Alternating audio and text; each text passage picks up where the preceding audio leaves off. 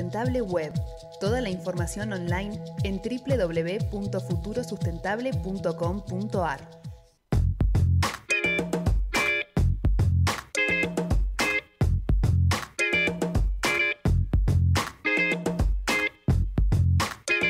Vamos al aire.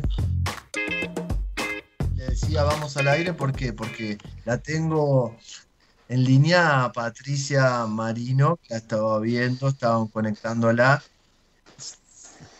Y quería decirle primero, feliz día Patricia, ¿cómo estás?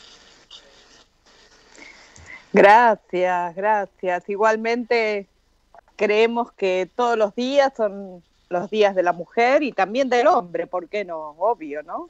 Sí, creemos que tendríamos que eh, tener una igualdad de género eh, constituida, una igualdad de género que no tendríamos que estar replanteándolo todos los días. Pero bueno, estas desigualdades que el mundo todavía hoy genera, necesitamos dar espacio y darle igualdad, no solo al género, sino a todos en este momento de COVID, como dicen las Naciones Unidas, ¿no, Pato?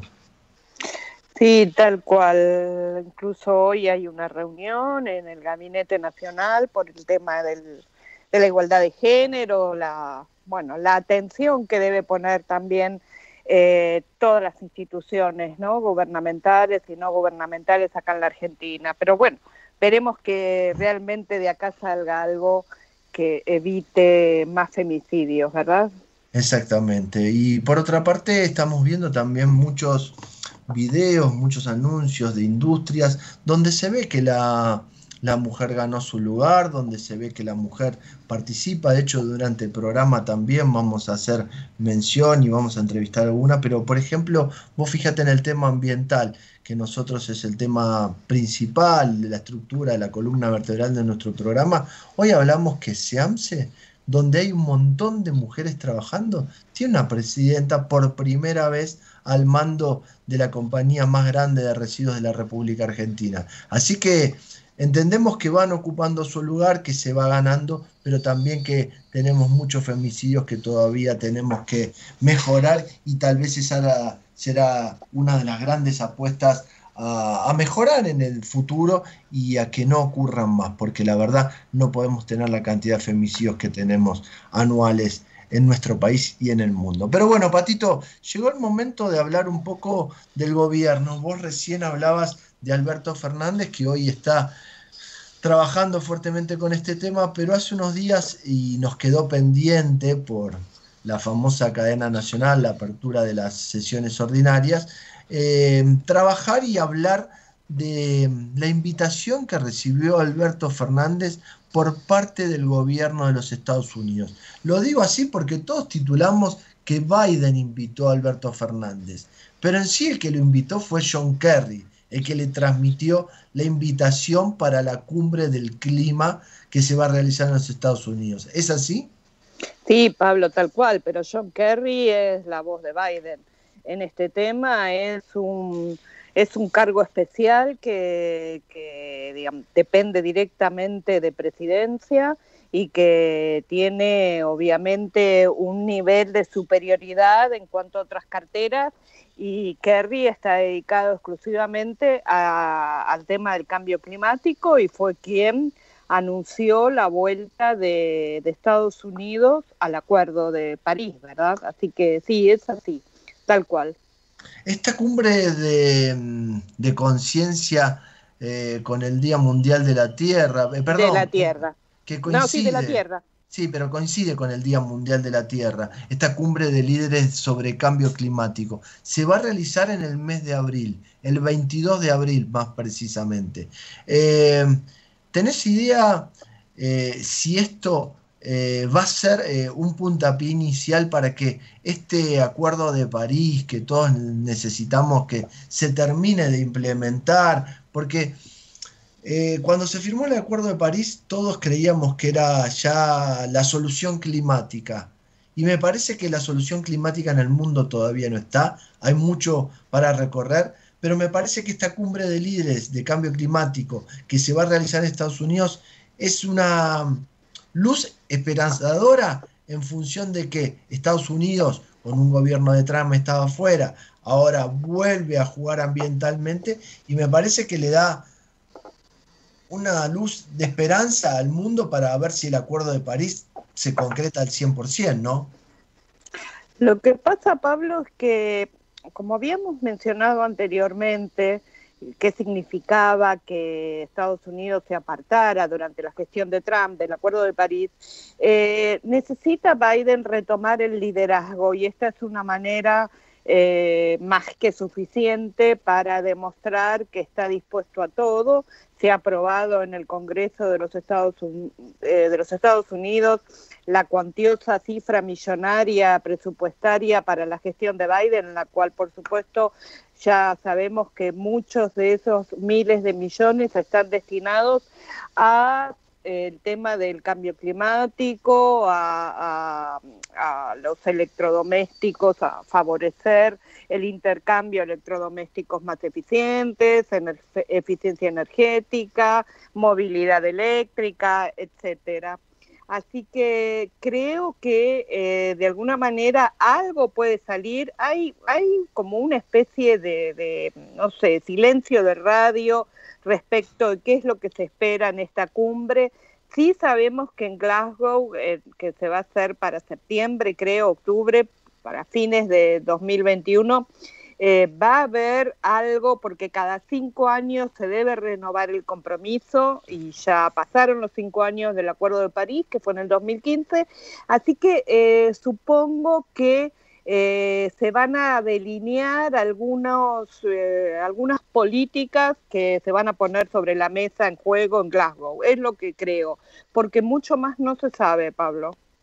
Mira, lo de Glasgow se va a realizar los primeros días de noviembre. Noviembre. Sí, del primero al 12 de noviembre en Escocia, pero a mí lo que me preocupa es esto, porque a ver, hay que entender que Estados Unidos, Europa y China son potencias, ¿no? Y que tienen una fuerte incidencia en lo que es eh, el tema ambiental como también en las relaciones internacionales. Y a mí lo que me preocupa es que Biden, como vos decís, para irrumpir en el escenario de las relaciones internacionales, use este encuentro para decir, señores, acá estoy y me empiezo a relacionar y se deje lo ambiental de lado. No, Pablo, no, porque dentro, por lo menos dentro de la agenda verde que que circuló eh, y que de hecho ya hay un compromiso eh, de la agenda de Biden, están los convenios multilaterales, es decir, que va a estar sujeto el comercio eh, respecto al tratamiento de los gases de efecto invernadero. Así que no creo, Pablo, veremos, veremos. A ver, el hombre fuerte en el ambiente es John Kerry, esto está claro, y sabemos que tiene una fuerte postura sobre todo el tema climático, el tema ambiental. Entonces, se espera que Kerry sea el que apuntale, pero tenemos en cuenta siempre que cuando hay cumbres, hay eh, encuentros ambientales, son muy lentos la implementación de estos acuerdos. Las firmas también llevan tiempo, pero son muy lentos la implementación de estos acuerdos. ¿eh? Absolutamente, Pablo. Bueno, ese es el tema de discordia permanente eh, con cada una de estas cumbres o de estas COP, donde todo es muy lindo, pero la acción va en, carreta, ¿no?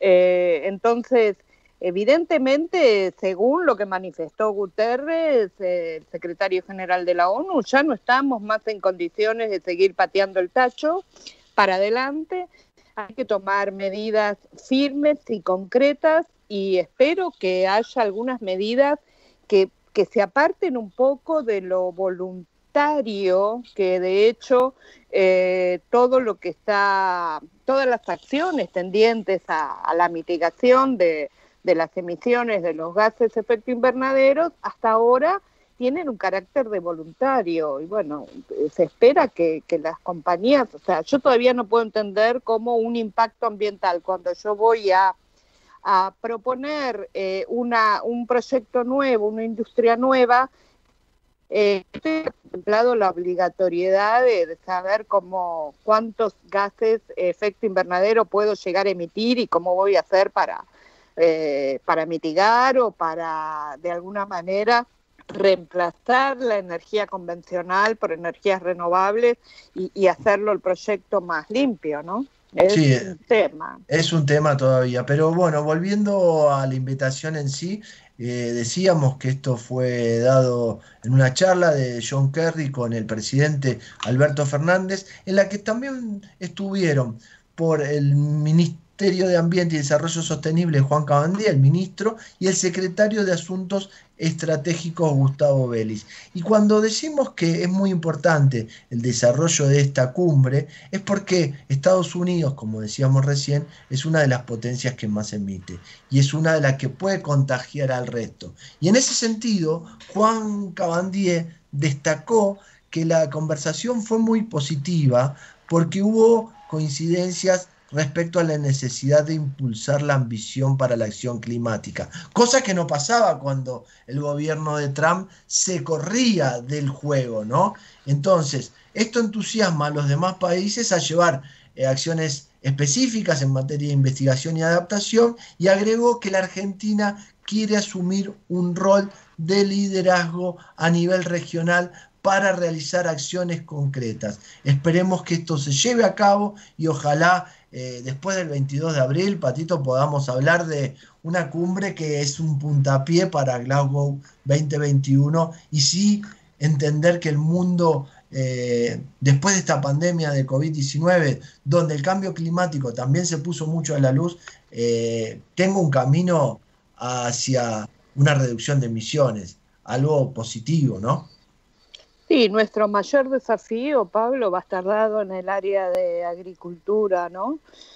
Eh, porque es ahí donde nosotros tenemos un poquito más de porcentaje, digamos, respecto de lo que es la energía eh, y del transporte, ¿no? Así que, bueno, para Argentina también va a ser un desafío. Si bien, por supuesto, Argentina, eh, no sé si se va a modificar eso, no está comprendido dentro de los países que sí tienen eh, obligatoriedad de eh, mostrar reducciones. ¿eh? Convengamos que Argentina no está obligado como tantos otros países, ¿no? Por el nivel de, emisiones que representa el país y cada uno de, de, los países que están fuera del acuerdo de obligatoriedad de mostrar. Y aún así, aquellos que están obligados a mostrar tampoco pueden hacer mucho, no pueden demostrar. De hecho, recordemos la columna de Claudia cuando el gobierno de Francia, que sí está obligado obviamente a, tener una disminución a lo largo de los años, eh, fue condenado por no hacer absolutamente nada, ¿no? Sí, eso es una condena muy llamativa, la primera a nivel internacional y la verdad que es un puntapié también a que todos revean su situación. Pero cuando vos decís no pueden hacer mucho a veces, también surge algo que a, a mí se me viene a la cabeza que es cuánto recurso financiero va a haber para poder reconvertir, para poder hacer acciones climáticas en un mundo tan golpeado después de una pandemia, ¿no? De un mundo que se tiene que recuperar económicamente. Porque, digamos, lo financiero para mí es esencial, ¿no? Precisamente, Pablo, eh, muchos países, y dentro de ellos está Estados Unidos, eh, que tienen acceso a, un crédito muy, muy blando, a enorme cantidad de divisas, están orientando todas estas reconversiones, estas ayudas hacia, hacia sus sectores eh, privados, ¿no? De, ya sea de comercialización o de manufacturería o, de servicios que ofrecen a a prestar este, dinero de una digamos, con un crédito bastante accesible, pero condicionados, esto es lo que se espera, ¿no? O sea, se espera que toda esta cantidad de plata que va a estar circulando para estos países desarrollados estén condicionados a la reconversión, o sea, ayudarlos a salir de de esa depresión gigante que, se sufrió durante el 2020, pero con la condición de que incluyan medidas eh, tendientes a la eficiencia energética, básicamente eh, en ese punto, ¿no?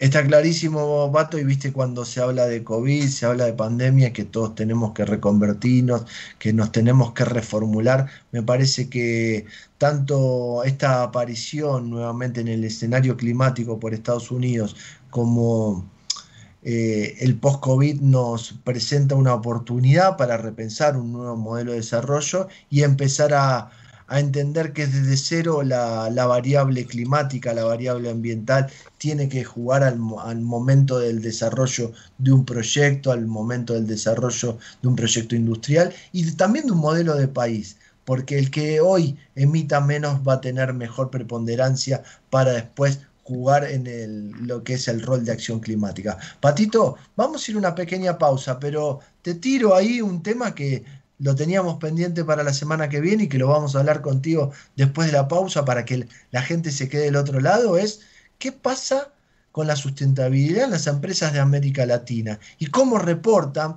y quiénes son los que también acompañan desde su sector privado iniciativas de ODS. Así que eso, después de la pausa, te lo comenta no? Patricia Marino.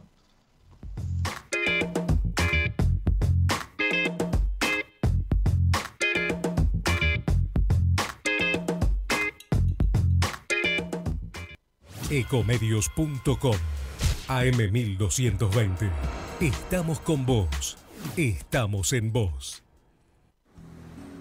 La Posada Morada dos Ventos te espera en Pipa, la mejor playa del nordeste de Brasil única por su bahía con delfines. 12 exclusivos departamentos estilo bungalows en un predio de 5.000 metros cuadrados.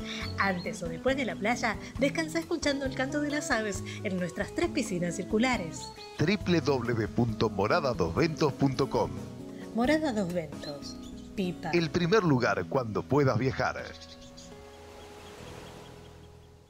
Consejos de prevención de Acord Salud. Con el fin de cuidarnos entre todos y controlar la expansión de coronavirus COVID-19, Acor Salud te recuerda. Los síntomas más comunes son fiebre, tos y dolor de garganta. En algunos casos puede provocar dificultad respiratoria más severa y neumonía requiriendo hospitalización. Consejos de prevención de Acord Salud.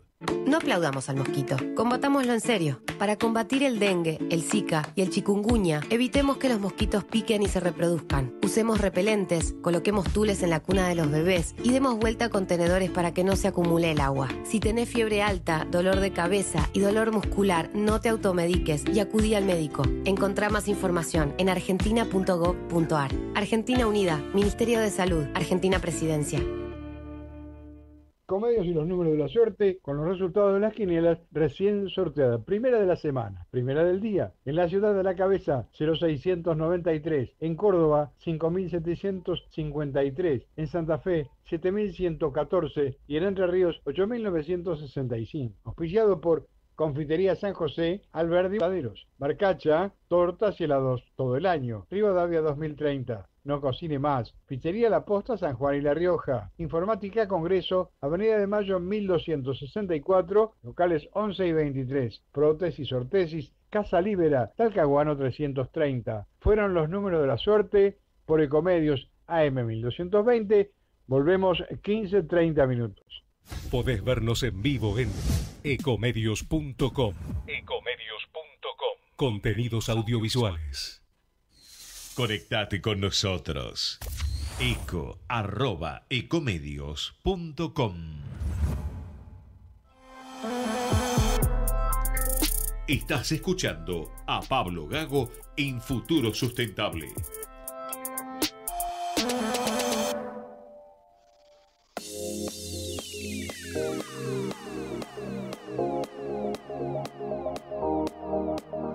En este futuro sustentable. Recién hablábamos de lo que pasa a nivel cambio climático en el mundo y lo que se viene con la cumbre climática que propone el gobierno de los Estados Unidos. Esto desde el sector público, desde el sector de los gobiernos. Pero queríamos hablar con Patricia Marino, ¿qué está pasando a nivel empresario, a nivel industria en materia de sustentabilidad en América Latina? Y también, ¿qué pasa con los reportes? ¿Quiénes son los que más o menos reportan? Así que, Pato, empecemos a contarle a la gente qué está pasando en materia de sustentabilidad con la industria en América Latina. Sí, Pablo, vos sabés muy bien, yo quiero rescatar esto que desde Futuro Sustentable acompañamos permanentemente a todas las industrias cuando publican su reporte de sustentabilidad, se lo damos a conocer. Eh, y la verdad, Pablo, esto es algo muy valioso, que no sé si todos comprenden el valor de lo que significa un reporte de sustentabilidad. Las empresas que reportan sus acciones en cuanto al cuidado del medio ambiente, en cuanto a lo social, eh, son empresas que lo hacen de manera voluntaria y que además acompañan y ayudan mucho las políticas gubernamentales. Ojalá todos los países tuviesen a todas sus industrias reportando. De esa manera los presidentes tendrían mucho menos trabajo, porque la verdad que el sector privado eh, hay que sacarse el sombrero, que cuando se pone las pilas lo hace desde desde la cuna a la tumba, ¿no? O sea, realmente abarca todo. ¿Qué es un reporte de sustentabilidad? Bueno, el reporte de sustentabilidad es qué acciones lleva a cabo una compañía para mostrar públicamente eh, cómo hace para el tratamiento de las comunidades, el tratamiento del medio ambiente, de la seguridad del personal y demás eh, indicadores.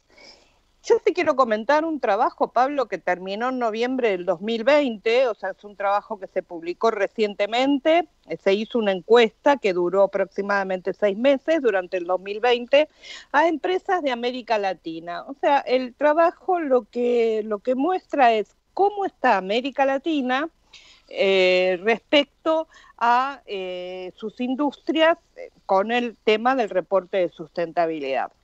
Y para esto se tomó un, universo de, de, de, empresas y de países que son las empresas que cotizan en bolsa. Vos sabés muy bien, Pablo, que para cotizar en bolsa necesitas obligatoriamente tener un reporte financiero también público. Bueno, de todas esas empresas que cotizan en las bolsas, se tomó cinco países, Argentina, eh, Perú, México, Chile y Colombia, no hay problema, no hay problema.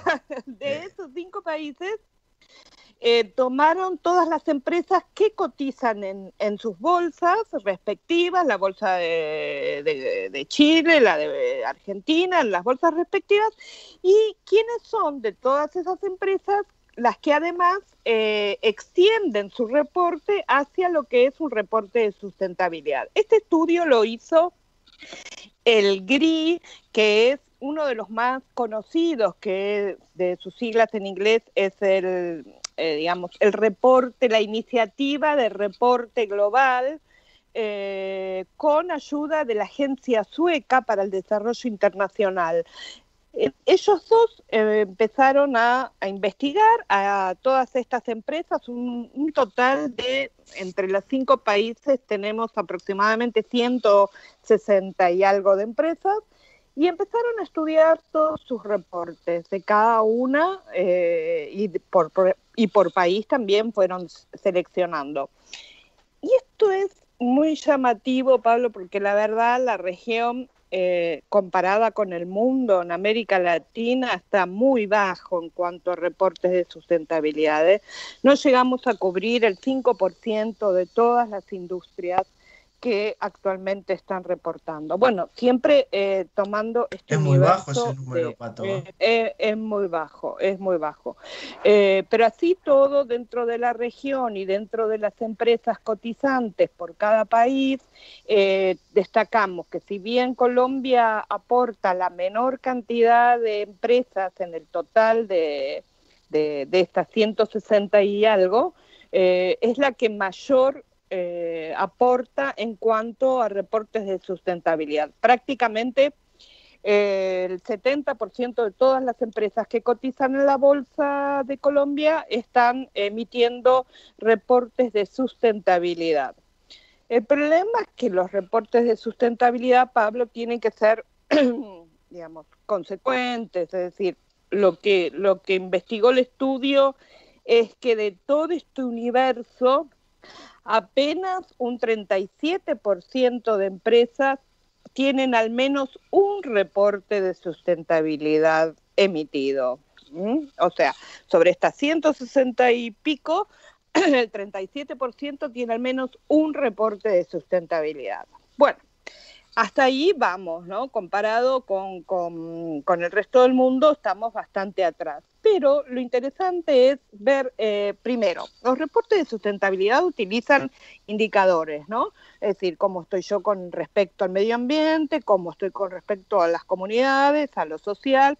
Y lo que este estudio eh, reveló es que la mayoría, prácticamente más del 70%, siguen los lineamientos del GRI, que es la Iniciativa Global de Reportes, lo cual eh, eh, permite hablar un, lenguaje común a incluso a las empresas asiáticas, a las empresas europeas, a las americanas y demás, ¿no? Sí, eso por parte del lenguaje y digamos, pero por parte del contenido, ¿cómo es? El parte del contenido es interesante.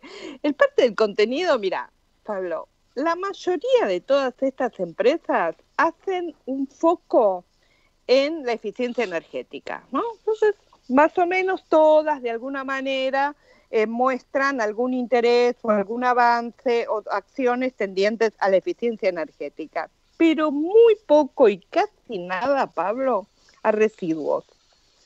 Es un tema, ¿no? Porque realmente me quedé sorprendida, como que lo tratan muy por arriba, no es un tema que esté en el foco de la atención.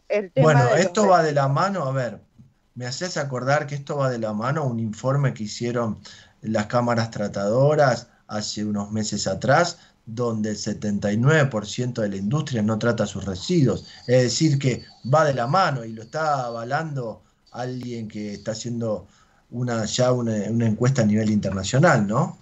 Tal cual, Pablo, tal cual. O sea que en términos generales tenemos eh, un enfoque mayoritario en la eficiencia energética y casi nada eh, de acciones tendientes a la minimización de los residuos, el tratamiento y demás. Eso es muy llamativo. También es llamativo, Pablo, que solo el 1% de todas estas empresas son las que eh, de alguna manera eh, mostraron esto que habíamos hablado antes, ¿te acordás, Pablo, que son los riesgos asociados al cambio climático? Es decir, expresar cómo su, su, compañía, cuáles son los riesgos que su compañía enfrenta respecto del cambio climático. Bueno, eso apenas el 1%, casi nada. Pero es un dato que no me sorprende, Patricia, ¿eh? Porque me parece que en el directorio y en la cabeza de la industria todavía no está eh, digamos, incorporado ese término de riesgo asociado ambiental.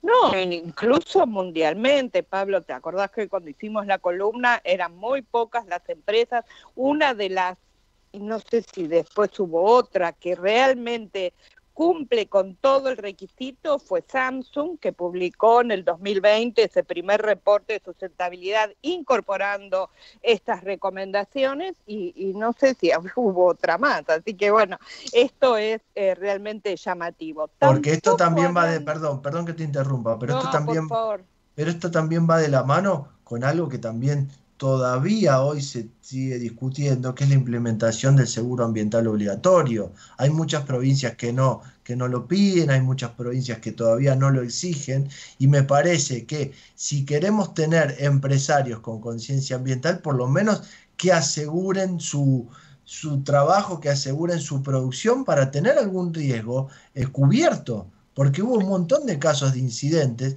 que después no se pueden cubrir. Exactamente, Pablo.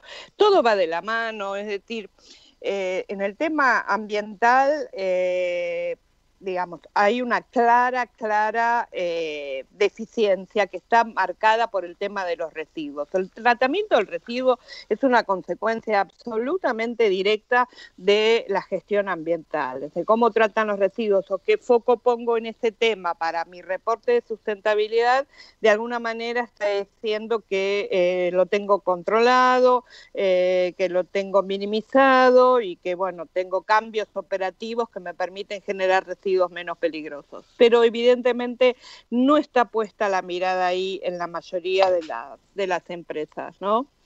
Otra cosa que también es interesante, Pablo, que casi ninguna, absolutamente ninguna, eh, pone un compromiso en lo que es la gobernanza, que es otro de los requisitos, aparte del riesgo asociado a las operaciones por el cambio climático. La gobernanza de una compañía es son las políticas que la compañía tiene asociados con todos sus actores, ¿eh? que son los consumidores, que son sus inversionistas, que son sus empleados, que son, eh, bueno, en fin, los proveedores, la cadena, toda su cadena de valor. Son políticas derivadas eh, y acordadas con todos estos actores y casi ninguno, casi ninguno eh, hace mención al tema de la gobernanza, que de alguna manera de ahí se van a derivar todas las políticas, ya sea para el consumo, posconsumo, para los inversionistas, eh, para los proveedores. Bueno, hay muy poco, nada de nada en ese punto eh, de, de los reportes, sobre todo de la región. Patricia, y, para ir cerrando, y para ir cerrando, pregunto en voz alta. Cuando aparecen los Objetivos de Desarrollo Sostenible, los famosos ODS, ¿cómo juegan para impulsar que estas industrias cambien su gestión, por decirlo de alguna manera? Sí, Pablo, mira, la mayoría este, muestra compromisos con los ODS en sus reportes. Tenemos cerca de un 81% de todas estas empresas cotizantes. Eh, y básicamente son dos, eh, dos ODS que realmente, le, digamos, tienen mayor... Eh, peso en todos estos reportes. Uno es el tema del trabajo, de la seguridad y, el otro es el cambio, climático, la eficiencia energética, básicamente orientado a esos dos ODS, o sea, trabajo seguro, que no sea por supuesto trabajo infantil, este, y el tema del cambio climático. Los demás, algunos van mechando otros compromisos con los, eh, objetivos, pero los más eh, frecuentemente aparecidos en todos estos reportes son estos dos, Pablo, nada más. Así que todavía tenemos para hacer, ¿eh? No, no, evidentemente tenemos para hacer, evidentemente la industria ha cambiado su manera de trabajar, viene trabajando en materia de sustentabilidad, pero con este informe lo que demuestra es como que mm, recuerdo, ¿te acordás cuando hablábamos en medio ambiente que estábamos atrasados con respecto a iniciativas europeas, a iniciativas americanas? Me parece que en este caso también vamos un poco atrás de lo que pasa en el resto del mundo, pero bueno, es lo que nos toca como región y vuelvo a insistir, una región que hoy está golpeada mucho de lo económico, no solo por la pandemia, sino que viene golpeada ya desde antes eh, a nivel económico. Así que veremos cómo cómo mejora la gestión en materia de sustentabilidad en América Latina y en estos países que marcabas vos que se ha hecho este estudio. Patito, eh, te tengo que despedir, voy a recibir a otras mujeres, hoy me parece que es un ah. día lleno de mujeres. Bendito tú eres, bendito este, tú este eres. Este 8M lleno de mujeres en nuestro programa, pero bueno, vamos a una pequeña pausa, te despido y que tengas una muy linda semana. Igualmente, Pablo, gracias, saludos a los oyentes. Y hemos despedido a Patricia Marino, nuestra... Todo esto que pasa hoy no se va a borrar nunca de nuestra memoria. En Action Energy nos ocupamos del presente, pero también elegimos pensar en lo que va a pasar después, en el desafío que tenemos por delante, en lo que se viene cuando nos reencontremos, porque cuando volvamos a salir, toda nuestra energía va a estar ahí para superarlo juntos. Action Energy. Hoy más que nunca, energía de superación. Si vas a tirar plásticos, cartones, vidrios, metales o papeles, llévalos siempre limpios y secos al contenedor verde o punto verde más cercano, o entregáselos en mano a un recuperador urbano. Para saber más, entra a buenosaires.gov.ar barra reciclables. Buenos Aires Ciudad. En Coca-Cola Argentina elegimos convertir la incertidumbre en compromiso. El compromiso de recuperarnos, de salir adelante juntos Hoy más que nunca, apoyamos a los más de 230.000 kiosqueros y almaceneros con los que trabajamos en todo el país. Porque el futuro lo construimos juntos. Coca-Cola de Argentina. Juntos salimos adelante. En Unilever estamos acá desde hace casi un siglo y siempre con un claro propósito en todo lo que hacemos a través de nuestras marcas, acompañando e impulsando de manera sustentable el desarrollo del país, cuidando nuestra cadena de valor y asegurando que nuestros productos lleguen a millones de hogares. Porque solo si estamos donde hay que estar, es posible acompañar el crecimiento del país. Unilever, desde hace 90 años en Argentina.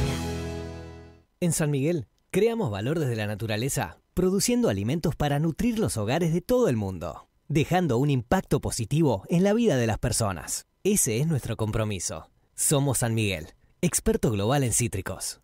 Futuro Sustentable Web. Toda la información online en www.futurosustentable.com.ar.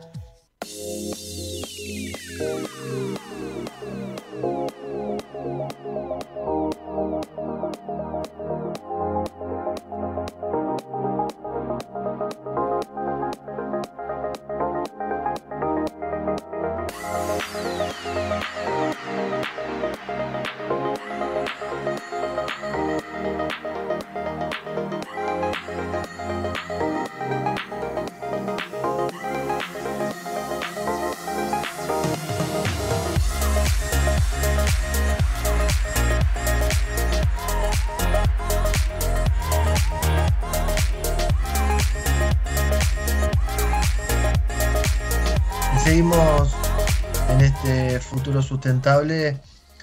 Eh, la verdad que hoy festejando este 8M, este Día Internacional de la Mujer, y le voy a pedir a Javier, Martínez, nuestro operador, que hace posible que todos los días salgamos de la mejor manera posible al aire, a ver si podemos conectar a nuestra querida Sabrina Pon, eh, que hoy participa en la columna de minería y de energía de nuestro programa y también a nuestra invitada por el día del 8M porque queremos hablar con las mujeres de la industria. Ahí apareció mi querida Sabrina.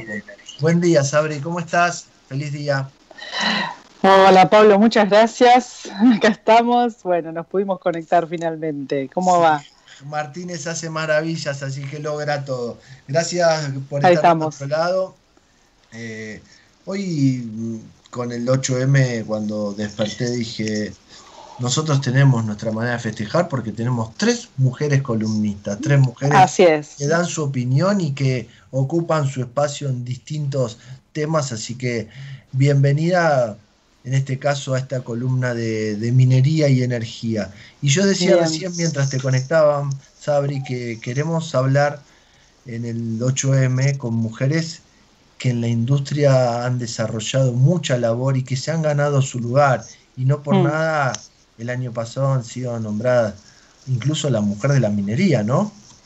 Sí, así es. Bueno, estamos, este, muy estoy muy contenta de, poder comunicarnos, que nos hayamos comunicado con ella este día, que es muy especial. Y sí, sin duda, este, el año pasado, como ya lo habíamos este, comentado en el programa, se conformó la, sede de WIND, Argentina. WIND es este, Women in Mining, ¿no? que es, una asociación internacional donde trabajan las mujeres de la minería. Y yo te voy a eh, contar algo, yo la conocí muy joven a esta persona y todos se preguntaban, ¿qué hace una mujer dentro de la actividad minera? Y la verdad, cuando el año pasado recibió el premio a la mujer minera del año, eh, la, la felicité en privado porque ahí es una muestra más que la mujer ha ganado su lugar, que la mujer tiene su lugar en la industria y por eso vamos a darle la bienvenida a Marita Ahumada, una geóloga que trabaja hace muchos años en la minería y que hoy es directora del Comité Asesor en Women in Mining en Argentina. Bienvenida Marita, ¿cómo estás? Tan amable recibimiento. Ah, no se ponga colorada. Buen día. ¿Cómo anda el tiempo ahí en la región de Cuyo? Aquí con día nublado y algo fresco en Mendoza. En Mendoza, por eso queríamos saber si estaba en Mendoza en San Juan. Y es verdad que cuando te conocí eras una joven entusiasta geóloga que andaba por los proyectos y todo el mundo se preguntaba qué lugar tiene la mujer en la minería. ¿Querés contarle a la gente qué lugar eh, tiene una mujer y que te has ganado vos en la minería? Sí, muchas gracias. sí, nos conocimos cuando era una joven geóloga, pero había comenzado ya siendo estudiante como de campo, ayudante de geólogo en minería, en los proyectos de prospección y exploración en alta montaña, que bueno, ese trabajo me fascina, la verdad que es mi verdadera pasión, la exploración, la prospección. Pero hasta ese bueno, momento todo el mundo pensaba que era un trabajo de hombres, ¿o no?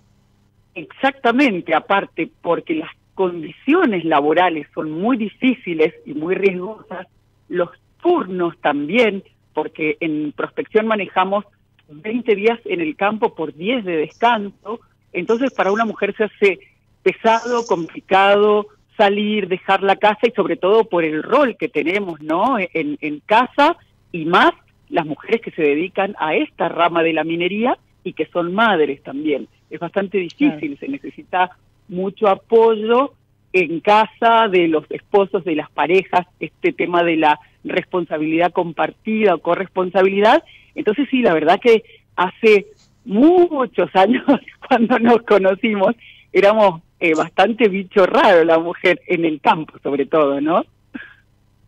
Y después ha ganado muchos más lugares, porque yo he visitado proyectos eh, mineros donde la mujer después apareció también al frente de, de un camión, al frente de una maquinaria. Es como que eh, el rol de la mujer hoy no se discute dentro de la actividad minera, ¿no?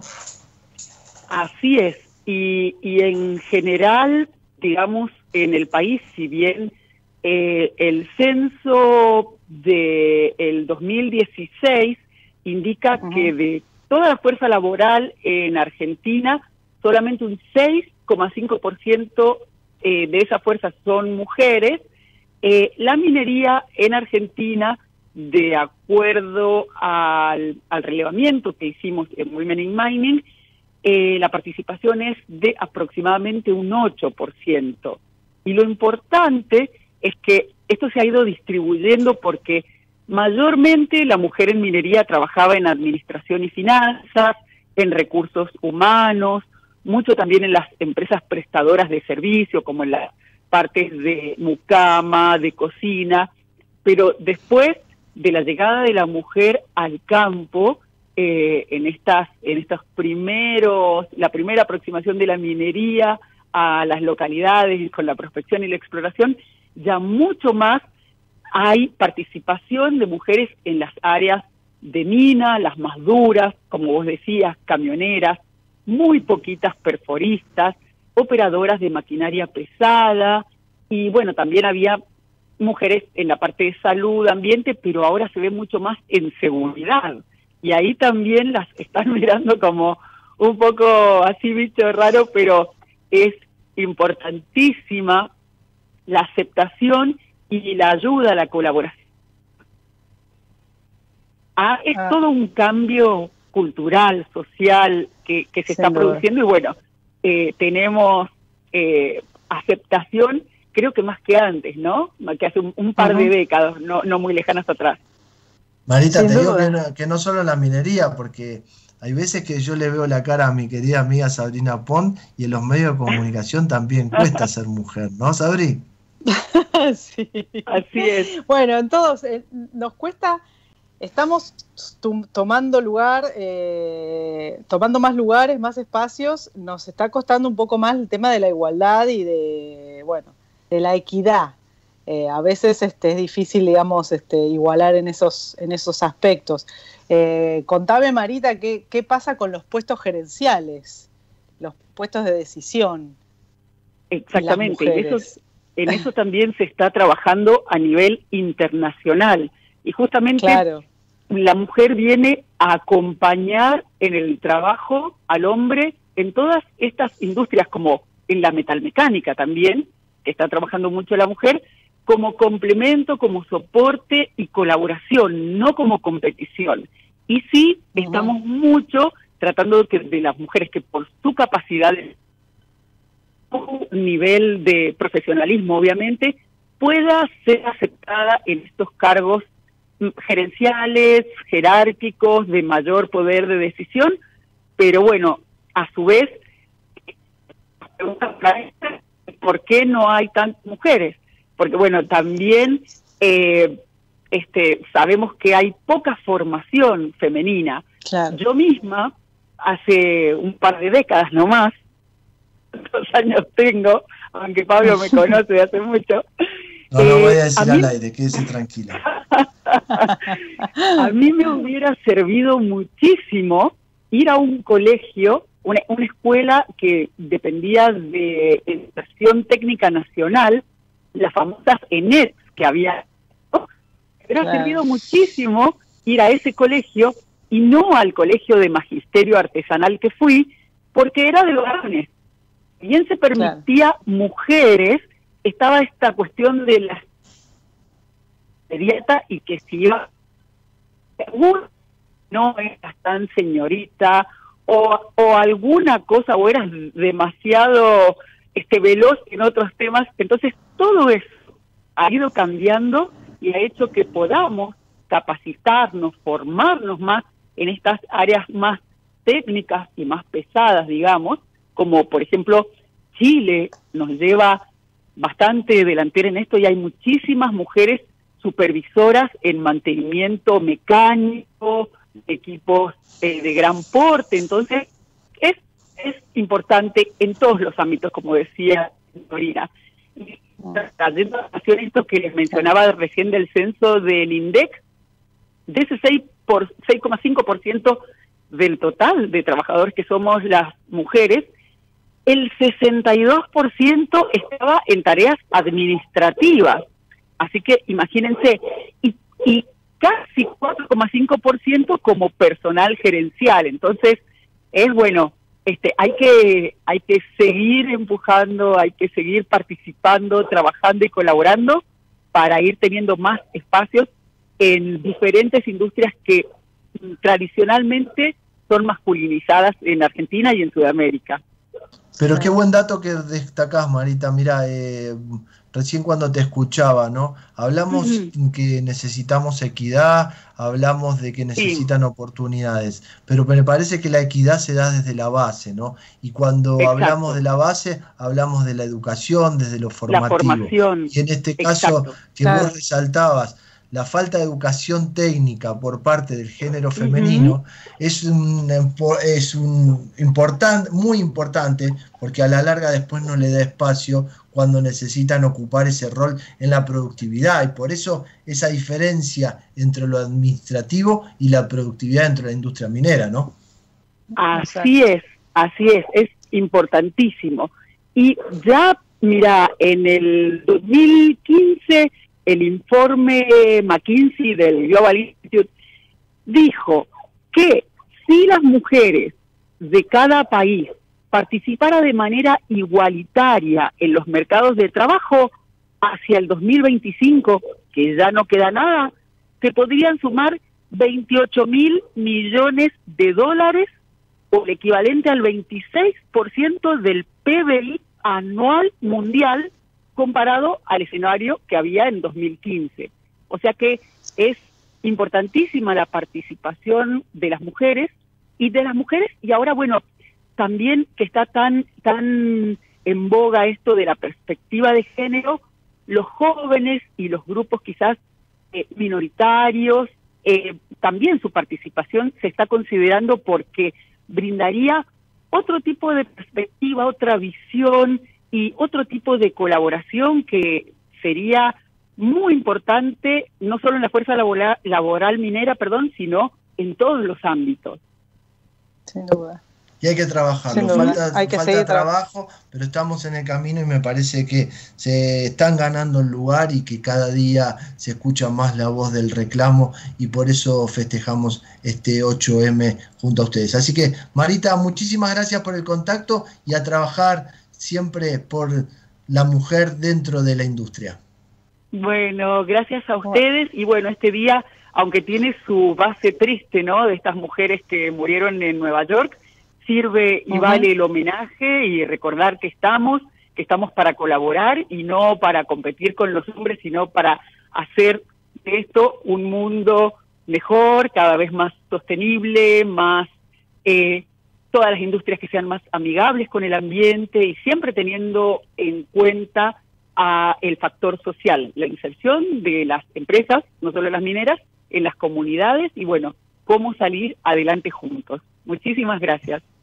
un excelente, un excelente mensaje, Marita. Muchas gracias. Chao, chao, gracias.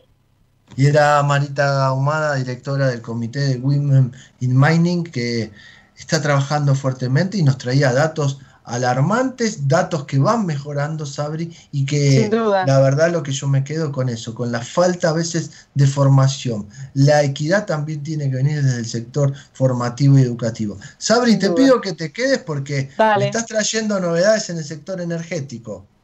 Y bueno, vamos a ver si son novedades o, oh. bueno, todavía tratemos de tratemos de, dilucidar a ver qué es lo que está pasando en el sector. Lo que pasa en materia de tarifas y la verdad esa risa media socarrona porque la verdad es, eh, es un panorama muy incierto y trae muchas dudas a la, a la, economía de nuestro país. Así que vamos a una pequeña pausa y seguimos con Sabrina Pond en este futuro sustentable.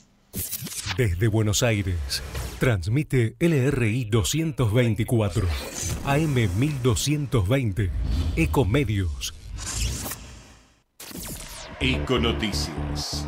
Toda la información al instante.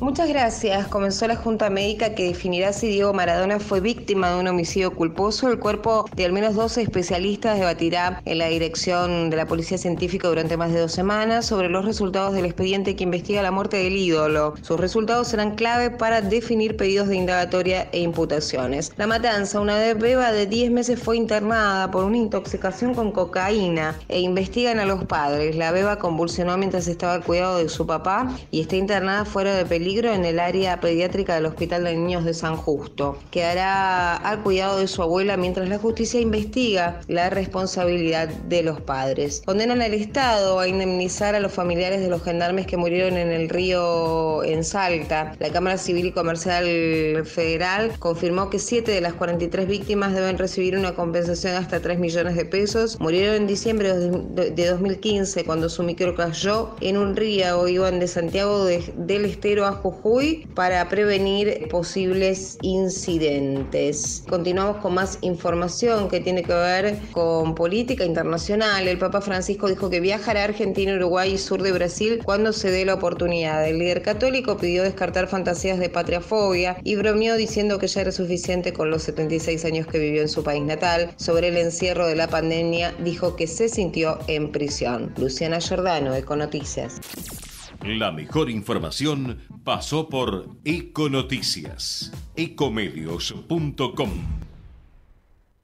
Llegó MGN Salud, medicina privada. MGN Salud es más servicio, más beneficios y excelente atención con los mejores médicos. Llama a MGN Salud al 4629-3351 y aprovecha tus aportes. Recordá, 4629-3351. Con MGN Salud todo es más fácil. Superintendencia de Servicios de Salud www.sssalud.gov.ar 0800-222-72583. RENEM número 117924.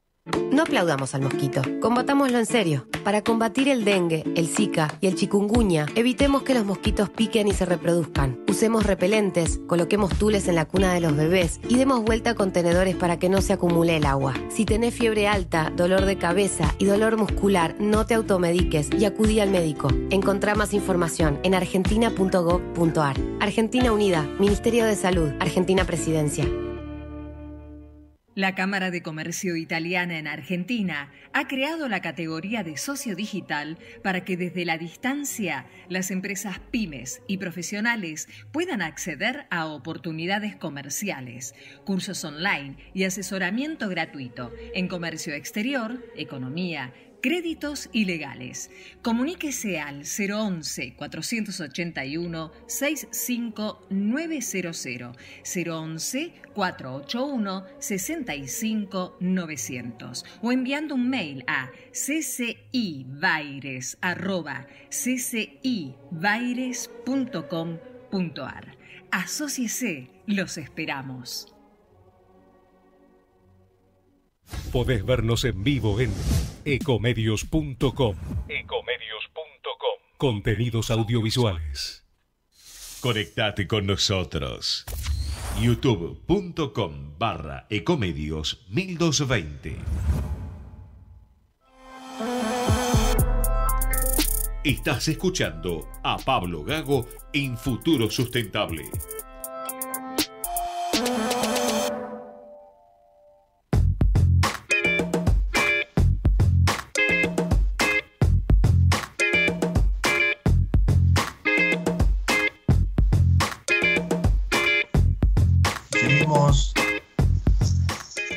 Que seguimos en este futuro sustentable.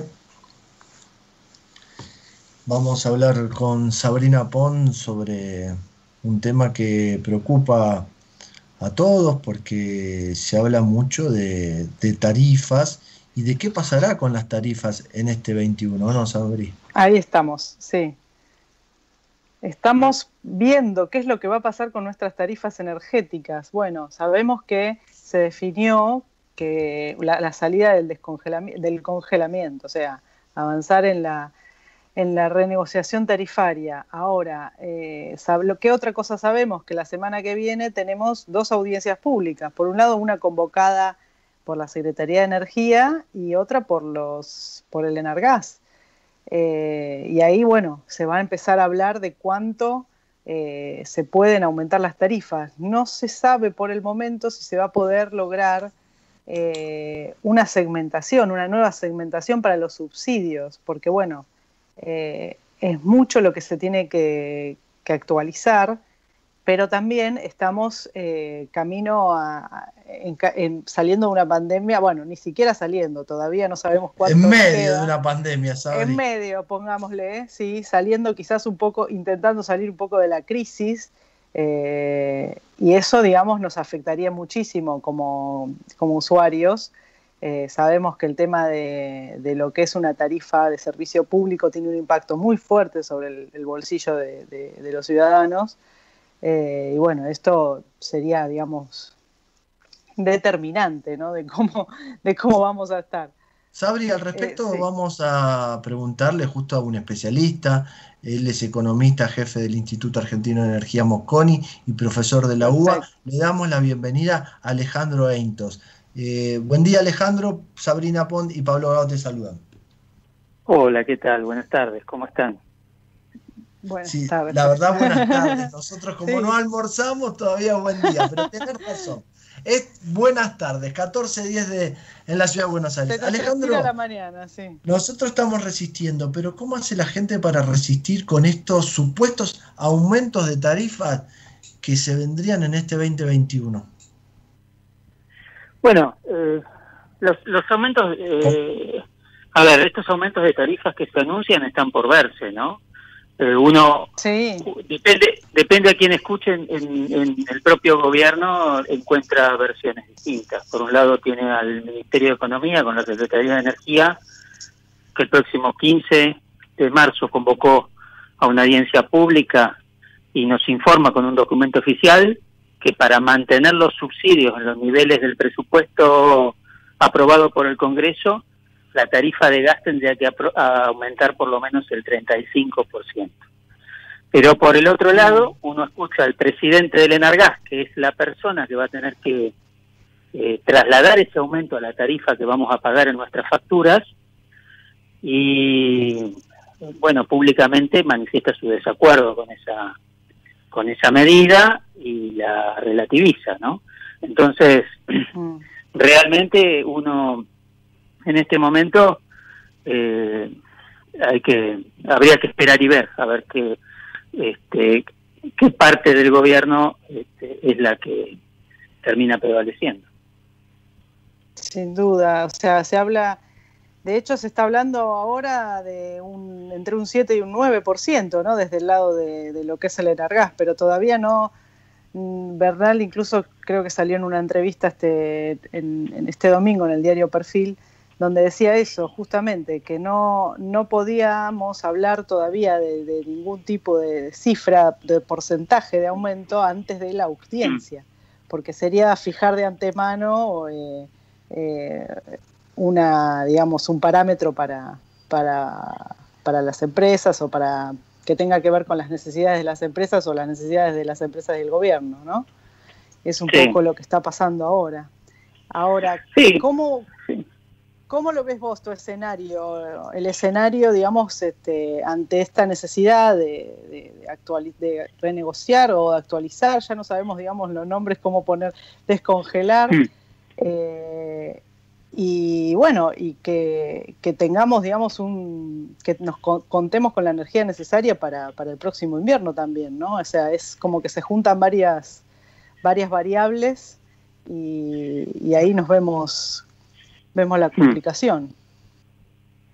Sí, eh, bueno, eh, son varias las aristas, ¿no? La, primera que podría decir es, este, bueno, no está bueno que la política tarifaria eh, la discutan los integrantes del gobierno en la opinión pública. Parece que hay un plan, objetivos, eh, este, que esos objetivos sean este, paulatinos en, su llegada, eh, los aumentos tarifarios en su llegada a la, a la gente, este, y eso tiene que ser parte de una planificación por parte del gobierno.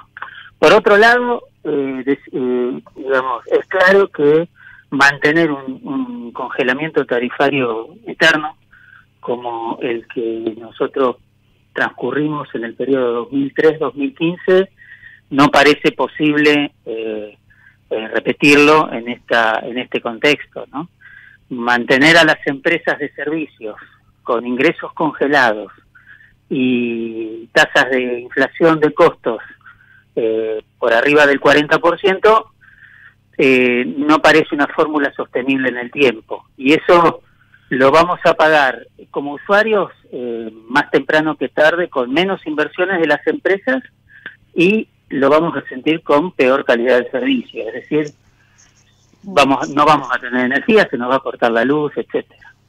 Eh, este y como Estado, por otro lado, eh, lo vamos a sentir vía impuestos, si vos querés el impuesto inflacionario que vamos a tener que pagar para cubrir los subsidios a la energía que este necesarios para que el sistema no termina quebrando. Entonces, este, a mí me parece que eh, la coyuntura es, es difícil, eh, encima está complicada por el contexto de la, de la pandemia, eso hace que la población, todos, eh, veamos nuestros ingresos deprimidos y, y, se nos haga difícil enfrentar aumentos de tarifas eh, importantes. Por otro lado, me parece que debe primar el sentido común eh, y yo creo que explicar y concientizar a la, a, la población, a los usuarios, que no es este que el sistema energético no funciona a partir de magia, sino ni de subsidios, sino que este eh, es necesario pagar eh, por el costo de la energía que recibimos. Ahora, y con esto cierro, es importante entender que es necesario ayudar a quien no puede pagar la tarifa. Eh, y ahí el sí, el Estado debe estar este, focalizando el subsidio en aquellas familias que no puedan pagarlo y el sistema de la tarifa social está vigente. Exactamente, exactamente. Bueno, sí, es un, la verdad que es un tema complicado. Eh, entiendo también que la cuestión del de, tema inflacionario también, digamos, es otra de las variables que, se cruzan en, esta discusión.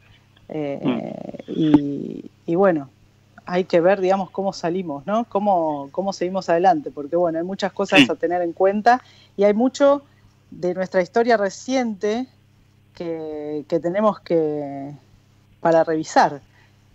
Mm. Eh, bueno, vos, eh, permítame decirlo, Alejandro lo sabe muy bien. Él, yo lo voy a decir ahora para porque él no lo va a decir, pero él acaba de sacar un libro este año, Precios, Tarifas y Subsidios de la Energía, que habla sobre el tema este del problema de la regulación energética de 2003 a 2019 y es muy importante, digamos, eh, estudiar lo que nos pasó en nuestra historia reciente para poder ver cómo vamos a encarar este, hacia adelante este, este problema, ¿no? Porque es vector eh, de la economía hmm. del país.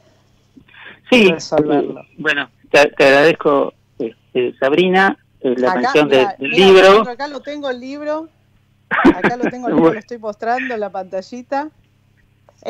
Lo recomiendo porque es muy claro, muy claro, no es para técnicos solamente, ¿eh? es para todos. Exacto.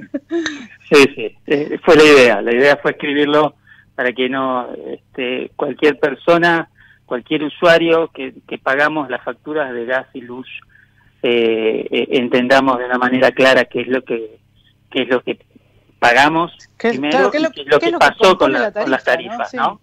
Claro. Que, y abarca el periodo 2003-2019, es decir, eh, eh, abarca también el periodo de los aumentos de tarifas eh, permanentes que, bueno, que tanto afectaron el humor social, ¿no? pero volviendo a la coyuntura, este, como vos bien decís, es bueno ver cuáles fueron las consecuencias de un congelamiento prolongado de las tarifas eh, durante un periodo reciente de nuestra historia y su efecto no solo en una calidad que terminó en una calidad de servicio insoportable para, para los usuarios, sino que terminó quebrando al Estado.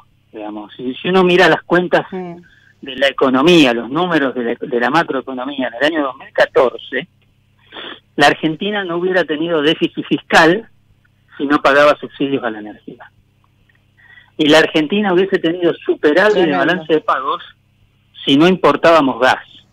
Digamos, esa fue la magnitud del desequilibrio de los números del sector energético, producto de una política de precios y tarifas que visto a la distancia, digamos, con el diario del lunes, eh, más de 10 años de congelamiento de precios de la energía y tarifas, fue una política energética suicida para la Argentina.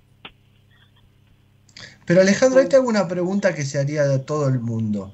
Eh, estoy totalmente de acuerdo con vos de que hubo políticas suicidas y hubo políticas que no se llevaron a cabo como correspondían. Pero coincidís conmigo que falta claridad en el momento de comunicar todo lo que pasa en el sector energético a nivel tarifas, a nivel inversiones y entender que la gente pueda entender justamente la tarifa y cómo ese servicio llega a su casa. ¿Le falta transparencia a todo este, digamos, ciclo de vida? Mira, tenés absoluta razón y has tocado un tema, me parece, central, ¿no? No es posible que este, tengamos que ser este, especialistas en energía para poder leer la factura del uso gas que nos llega a nuestras casas. Eh, Totalmente. Eh, la Argentina, ni siquiera para leer la factura que recibimos, es muy complicado de leerla. Digamos, falta eh, una parte muy una pata docente del Estado que cuide a los usuarios de servicios públicos. Y ese es un déficit atribuible, me parece, de, creo yo, de manera directa a los entes reguladores tanto el ENRE como el ENARGAS, que son los responsables por las leyes vigentes de proteger eh, e informar a los usuarios. Eh, también me parece que fue, y, y, yendo al punto que vos marcás, este, me parece un, un, déficit enorme en la política tarifaria que empezó en el año 2016 con el presidente Macri, haber encarado un aumento tan acelerado de tarifas sin informarle a la gente qué era lo que pasaba, cuál era el estado de situación y qué era lo que tenía que pagar y por qué. Y me parece que eso se tradujo en un malhumor social creciente que puso al gobierno anterior discutiendo el tema de tarifas durante toda su gestión. Eh, y me parece que pasa principalmente por no explicar. por no informar. transparencia a veces eh, nos ofusca, a veces nos irrita, pero también cuando queremos tocar la tecla para prender la luz o cuando queremos prender la hornalla, tenemos que saber con la misma transparencia que necesitamos entender una tarifa, cómo es el ciclo productivo para que me llegue esa energía a mi casa que tanto necesito. Mm. Sí, sin duda. Así, es. Eh, hay mucha inversión detrás. Pero no hay inversión en educación. Sí. Eh, también eh, te digo que, y refuerza, refuerza lo que estamos diciendo, que muchos años de energía muy barata donde eh, eh, los estudios y las estadísticas te muestran que se dedicó durante muchos años una proporción muy cada vez menor del ingreso de las familias a pagar la factura de servicios. Claro. Coincido plenamente, Alejandro. No, eh, no sé si me escuchas. Bueno, se Ah, cortó se ahí con. Alejandro, pero coincido plenamente con lo que decía Alejandro esto, porque Sí, eh, muchos años acostumbrados a pagar servicios muy baratos, también es como que la gente no valoriza los procesos productivos, no valoriza el esfuerzo que se hace desde la producción, de, desde la es una mala señal. Es una mala Es una señal, mala sin señal. duda. Es una mala señal, sin duda, y es. Basta con mirar, digamos, lo, no, no irse muy lejos. Los países de la región, eh, qué, digamos, qué, qué es lo que significa la energía en los países de la región, cuánto vale de, eh, de- de- comparando sueldos, comparando ingresos, y nos, nos damos cuenta un poco, digamos, que, que en eso nos falta un camino largo para recorrer. Nos falta un camino, pero Sabri, vos fíjate, con transparencia, con educación, todos vamos a entender lo que nos pueden cobrar, lo que cuesta producir y a la larga valorizar ese recurso tan preciado para nuestro día a día. Sabri, no tengo más Sí. tiempo. Desgraciadamente no pudimos to- retomar la, la comunicación con Alejandro Einstein, al que le Bueno, agradecemos Ahora le, ahora haber le estado. un, sí, Y bueno, Sabri, un saludo. Seguimos hablando de este tema, a ver cómo se resuelve después de la A ver qué pasa la semana que viene. Sí, Dale. tenemos las audiencias lunes y martes. Vamos a ver qué pasa. Bueno, después nos contarás. Así que beso Dale. grande, que tenga buena semana, señora. Buena semana, hasta luego. Que sigas bien, hasta luego. Y era Sabrina Pont que nos traía todo lo que va a pasar en materias tarifarias en el sector energético en este 2021 y la discusión de siempre. ¿Por qué eh, está congelado? ¿Por qué hay que descongelar? Y al ver cómo salimos, como digo yo, de esta encerrona, que en algún momento tenemos que poner todo sobre la mesa y entender que el servicio hay que pagarlo, pero también moderado porque hay un momento económico que no lo permite y la gente tiene que entender también eh, que si se sigue en este congelamiento, como lo decía Alejandro Aniston, puede eh, disminuirse la calidad del servicio, que después cuando no tenemos servicio protestamos. Entonces hay que buscar un equilibrio, y un equilibrio que el sector energético necesita de una vez por todas en nuestro país. Javi, llévatelo, vamos a una pequeña pausa y seguimos con este futuro sustentable. Todo esto que pasa hoy no se va a borrar nunca de nuestra memoria. En Action Energy nos ocupamos del presente, pero también elegimos pensar en lo que va a pasar después, en el desafío que tenemos por delante, en lo que se viene cuando nos reencontremos, porque cuando volvamos a salir, toda nuestra energía va a estar ahí para superarlo juntos. Action Energy. Hoy más que nunca, energía de superación. Si vas a tirar plásticos, cartones, vidrios, metales o papeles, llévalos siempre limpios y secos al contenedor verde o punto verde más cercano, o entregáselos en mano a un recuperador urbano. Para saber más, entra a buenosaires.gov.ar barra reciclables. Buenos Aires Ciudad. En Coca-Cola Argentina elegimos convertir la incertidumbre en compromiso. El compromiso de recuperarnos, de salir adelante juntos. Hoy más que nunca, apoyamos a los más de 230.000 kiosqueros y almaceneros con los que trabajamos en todo el país. Porque el futuro lo construimos juntos. Coca-Cola de Argentina. Juntos salimos adelante. En Unilever estamos acá desde hace casi un siglo y siempre con un claro propósito en todo lo que hacemos a través de nuestras marcas, acompañando e impulsando de manera sustentable el desarrollo del país, cuidando nuestra cadena de valor y asegurando que nuestros productos lleguen a millones de hogares. Porque solo si estamos donde hay que estar, es posible acompañar el crecimiento del país. Unilever, desde hace 90 años en Argentina. En San Miguel, creamos valor desde la naturaleza, produciendo alimentos para nutrir los hogares de todo el mundo dejando un impacto positivo en la vida de las personas. Ese es nuestro compromiso. Somos San Miguel, experto global en cítricos. Revista Futuro Sustentable, el primer medio gráfico de sustentabilidad en la Argentina. Suscríbete en www.futurosustentable.com.ar.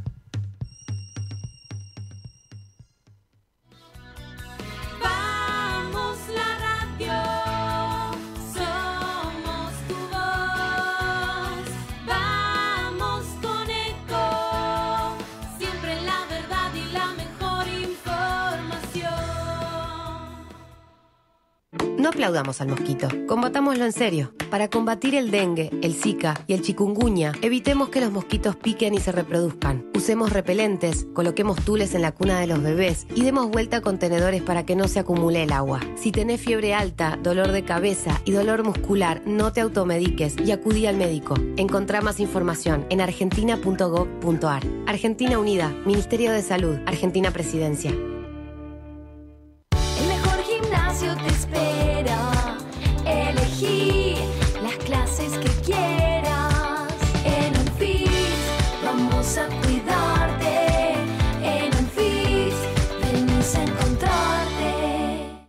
Podés vernos en vivo en ecomedios.com. Ecomedios.com. Contenidos audiovisuales. Conectate con nosotros. youtube.com barra ecomedios 1220. Estás escuchando a Pablo Gago en Futuro Sustentable.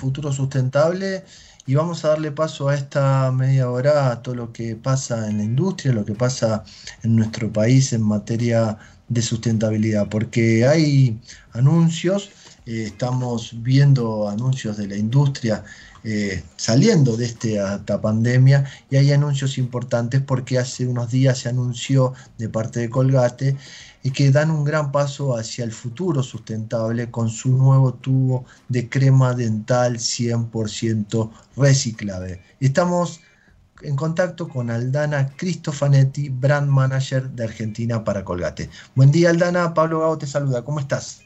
Hola, ¿cómo estás? ¿Todo bien? Muy bien. ¿Y vos? Gracias por atendernos, gracias por compartir esta noticia de este nuevo tubo de crema dental 100% reciclable que estará disponible en Argentina o en América Latina. En los dos lados. Así es, como vos decís, es un gran paso de la marca en futuro sustentable. Como bien decís, está disponible en Latinoamérica y ya llegó a la Argentina. Los consumidores todos eh, pueden ya adquirir el tubo eh, en sus supermercados, hipermercados de cercanía. Así que estamos muy contentos eh, por traer esta innovación al mercado. Cuando hablas de esta innovación, de este lanzamiento, ¿es parte de una acción en concreto o es parte de muchas acciones que se van a desarrollar dentro de la compañía? No, tal cual, como bien decís, esto es eh, una de las primeras acciones que estamos tomando como compañía hacia um, nuestros ob- objetivos de sustentabilidad que tenemos de cara al 2025.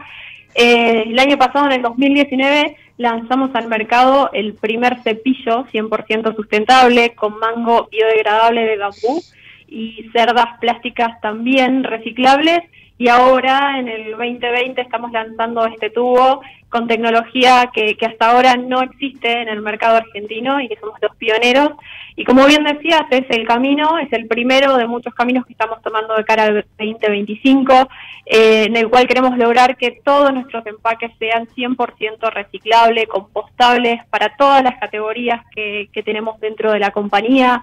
También tenemos de cara al 2025 el objetivo de reducir el 25% del plástico reciclado de nuestros envases y productos plásticos como los cepillos y, y lograr el 0% de empaque innecesario eh, en todo el proceso de, de nuestra producción.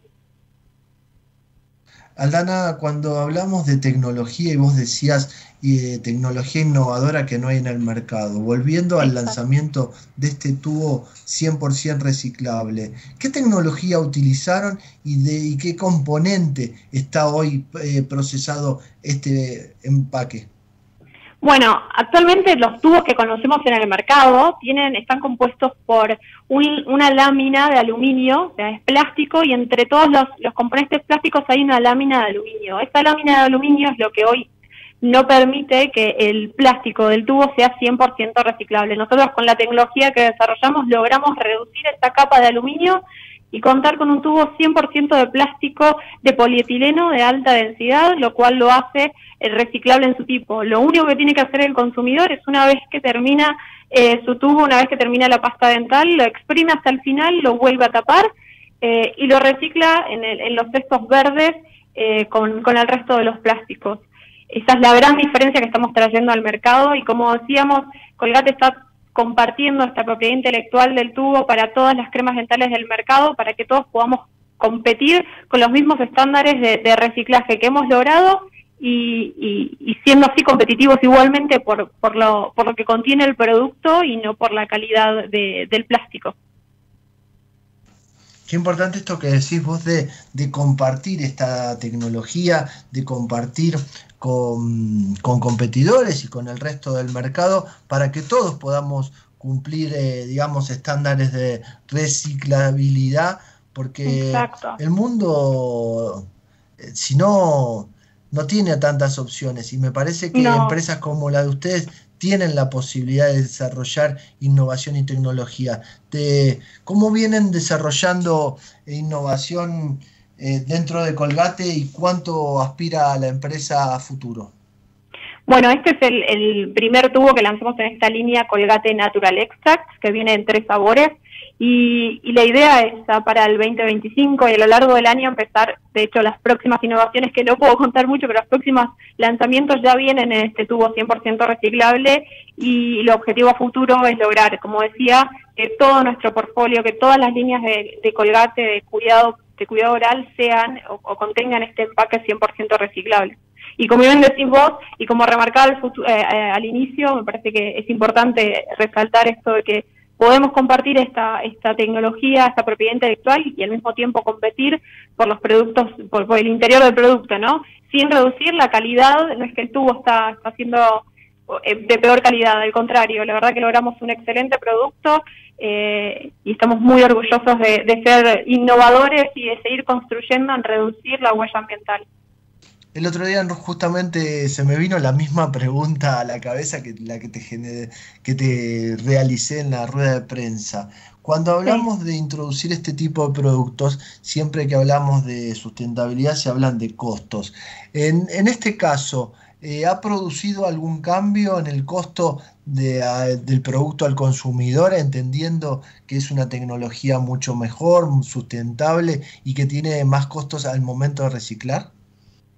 O sea, sí, eh, eh, para nuestras la realidad es que es una tecnología nueva, estamos innovando nuevas formas de reducir el uso plástico pero la idea es, es, que esto no repercuta en incrementar los costos de nuestros productos, porque un, poco la premisa que tenemos es que no debería ser una opción entre lo que es bueno en el presupuesto de, cualquier persona y lo que es bueno para el ambiente, con lo cual a lo que a lo que reportaba el otro día en la rueda de prensa creo que hoy no debería ser una opción para la gente y no estamos trasladando esta mejora tecnológica en los costos que, que tiene el consumidor, o mejor dicho, en el precio que, que está dispuesto a pagar el consumidor porque ahí desmitificamos lo que siempre dicen, que la sustentabilidad es cara, que la sustentabilidad eh, siempre tiene un precio extra y en este caso ustedes en la góndola al, consumidor se la dan en el mismo, al mismo costo. ¿En qué sabores viene este Colgate Natural Extracts?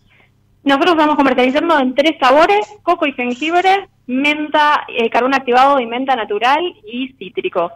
Estamos muy orgullosos de estos tres sabores que hemos logrado. Estos ya se, se comercializaban el año pasado y ahora lo estamos relanzando al mercado en estos mismos sabores, pero con el tubo 100% reciclable.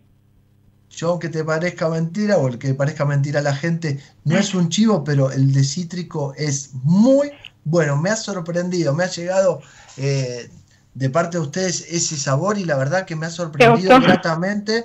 Por primero, por lo práctico que es el envase, porque es un, un un envase pequeño, eh, muy maleable y por otro lado el lindo gusto que te deja en la boca ese cítrico de Natural Extra, ¿no? Eh, es muy, es muy refrescante, a mí si me van a elegir yo me quedo con el carbón, el carbón está haciendo una tendencia y además tiene el beneficio de ser eh, blanqueador, con lo cual el carbón también te invito a que la pruebes y si te llegó la, la muestra también te va a sorprender. Y este año esperamos, no puedo contar mucho, pero esperamos novedades nuevos sabores para, para el consumidor, de siempre marcando tendencia y buscando qué es lo que están buscando los consumidores eh, respecto a, a ingredientes naturales.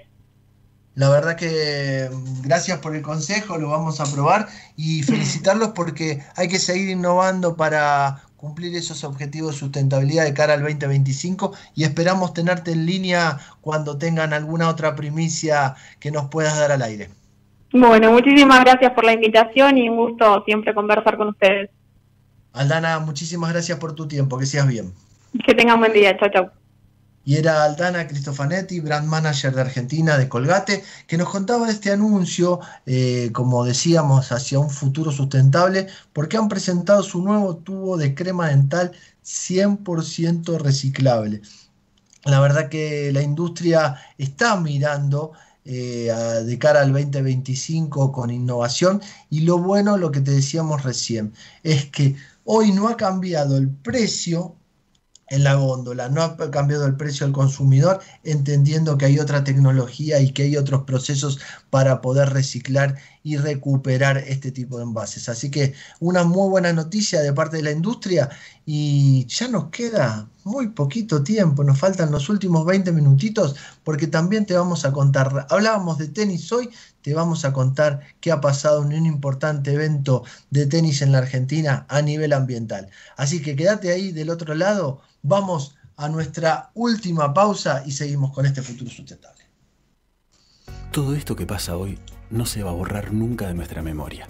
En Action Energy nos ocupamos del presente, pero también elegimos pensar en lo que va a pasar después, en el desafío que tenemos por delante, en lo que se viene cuando nos reencontremos, porque cuando volvamos a salir, toda nuestra energía va a estar ahí para superarlo juntos. Action Energy. Hoy más que nunca, energía de superación. Si vas a tirar plásticos, cartones, vidrios, metales o papeles, llévalos siempre limpios y secos al contenedor verde o punto verde más cercano, o entregáselos en mano a un recuperador urbano. Para saber más, entra a buenosaires.gov.ar barra reciclables. Buenos Aires Ciudad. En Coca-Cola Argentina elegimos convertir la incertidumbre en compromiso el compromiso de recuperarnos, de salir adelante juntos.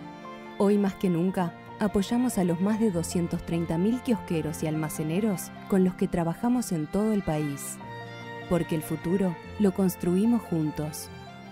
Coca-Cola de Argentina. Juntos salimos adelante. En Unilever estamos acá desde hace casi un siglo y siempre con un claro propósito en todo lo que hacemos a través de nuestras marcas, acompañando e impulsando de manera sustentable el desarrollo del país, cuidando nuestra cadena de valor y asegurando que nuestros productos lleguen a millones de hogares. Porque solo si estamos donde hay que estar, es posible acompañar el crecimiento del país. Unilever, desde hace 90 años en Argentina. En San Miguel, creamos valor desde la naturaleza, produciendo alimentos para nutrir los hogares de todo el mundo dejando un impacto positivo en la vida de las personas. Ese es nuestro compromiso. Somos San Miguel, experto global en cítricos. Minera Andina del Sol, una operación de Barrick y Shandong Gold, adhiere al programa hacia una minería sustentable. Grupo Inducer. Desde 1991 ofrece la más alta calidad y eficiencia en monitoreos y estudios de laboratorio para la industria www.inducer.com.ar. Referencia en la gestión optimizada del agua, de la energía y los residuos. Veolia está comprometida en la lucha contra el cambio climático. Veolia innova para desarrollar el acceso a los recursos, preservarlos y renovarlos, en el agua, la energía y los materiales provenientes de los residuos, recuperando y valorizando aquellos que han perdido vida útil. Veolia desarrolla soluciones a medida para las ciudades y las industrias y contribuye a producir nuevos recursos. En la ciudad de Buenos Aires, Veolia gestiona el servicio público de higiene urbana en la Comuna 1 a través de AESA Buenos Aires. Revista Futuro Sustentable, el primer medio gráfico de sustentabilidad en la Argentina. Suscríbete en www.futurosustentable.com.ar.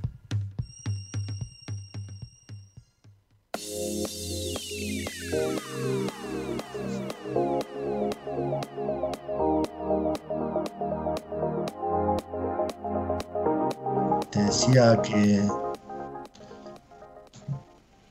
Te decía que llegamos a nuestro último bloque de Futuro Sustentable y hablábamos en el comienzo del programa de la actualidad y en la actualidad hablábamos de tenis. ¿Por qué? Porque se desarrolló el Córdoba Open en la provincia de Córdoba y se desarrolló el Open Argentina en la ciudad de Buenos Aires, con dos ganadores argentinos, lo cual nos daba una alegría inmensa, pero también nos daba una alegría inmensa porque los dos hermanos Cerúndolos eh, hacían historia igualando un récord de un hermano ganador en un ATP y un hermano finalista en dos semanas seguidas. Pero la alegría en este caso del tenis viene también de la mano de lo ambiental, porque el Córdoba Open, uno de los principales eventos de tenis realizados en la ciudad de Córdoba, eh, hizo un importante acuerdo para va a reducir sus emisiones de carbono generadas por el traslado de personas y promover la gestión